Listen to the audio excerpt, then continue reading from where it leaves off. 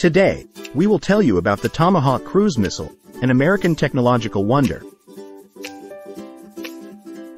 The Tomahawk is a family of highly precise missiles capable of striking targets at distances of up to 2,500 kilometers. They are designed for use in various types of military operations, whether underwater, on the water's surface, on land, or in the air. The standout feature of the Tomahawk is its versatility.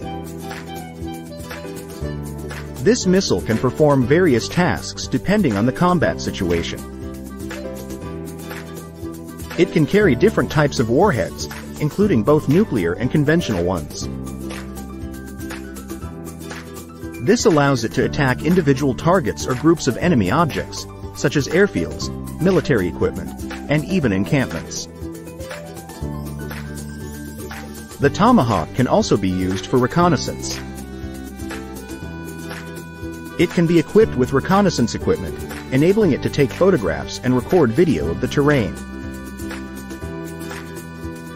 Another intriguing aspect is the missile's ability to deliver useful payloads over long distances and land them by parachute for advanced military forces.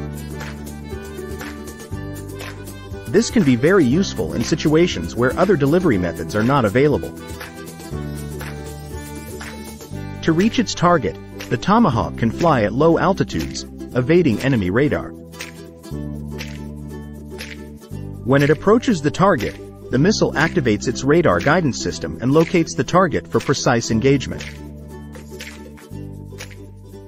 Tomahawk missiles can be launched from various platforms, including submarines and surface ships. This makes them a powerful component of the United States national defense.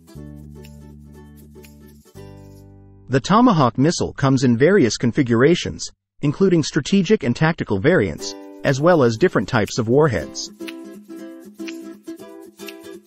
It remains a continually evolving and essential part of the American arsenal.